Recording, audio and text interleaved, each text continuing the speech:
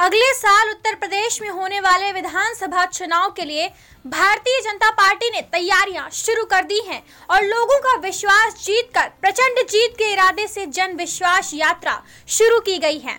BJP की जन विश्वास यात्रा जब मंगलवार को हाथरस के सादाबाद पहुँची, जहाँ यूपी के ऊर्जा मंत्री श्रीकांत शर्मा ने बिजली आपूर्ति को लेकर अजीबो गरीब बयान दिया।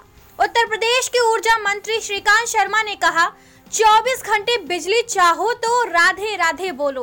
बिना व्यवधान के बिजली चाहो तो राधे राधे बोलो। जितनी ज़ोर से बोलोगे, उतना ही अधिक करंट आएगा और जो राधे राधे नहीं बोलेगा, उसकी बिजली कट जाएगी। श्रीकांत शर्मा ने कहा अगर साल 2022 में बीजेपी की सरकार बनी तो सादाबाद में 24 मिनट भी बिजली नहीं जाएगी और 24 घंटे आपूर्ति होगी। इसके साथ ही उन्होंने कहा, बीजेपी ने सबको मुफ़्त राशन देने का काम किया और बहन बेटियों की सुरक्षा दी। इसके अलावा धारा 370 हटाई और अयोध्या में राम मंदिर निर्माण का रास्ता प्रशस्त किया। योगी सरकार के मंत्री ने कहा, पिछले चुनावों की तरह इस बार के चुनाव में भी हर घर में कमल खिलाना है और आपको पिछला रिकॉर्ड तोड़कर दिखाना है। सरकार ने हर वर्ग के लिए काम करके दिखाया है।